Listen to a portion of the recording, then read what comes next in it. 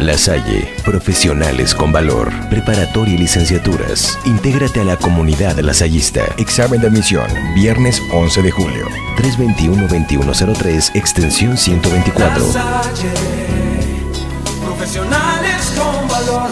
Pruebas de talento sábado 12 de julio. El exdiputado local Enrique Bautista Villegas anunció que la justicia federal otorgó el fallo a su valor en el juicio de amparo que presentó en contra del Congreso del Estado por no instalar el Consejo Económico y Social de Michoacán. Se mandata al legislativo a instaurar el órgano ciudadano a la brevedad. Yo presenté eh, un recurso de amparo ante el Congreso, ante la justicia federal eh, en contra de actos de omisión del Congreso del Estado de Michoacán porque en 2011, en diciembre del 2011, se aprobó y se promulgó la ley del Consejo Económico y Social de Michoacán. En marzo de 2012, el Congreso del Estado tuvo que haber constituido el Consejo Económico y Social de Michoacán, explicó Enrique Bautista. Este consejo es un órgano de representación ciudadana conformados por 40 consejeros del sector empresarial, organizaciones gremiales y campesinas, sociedad civil y comunidad académica. Presenté este amparo porque el Congreso del Estado, a pesar de tener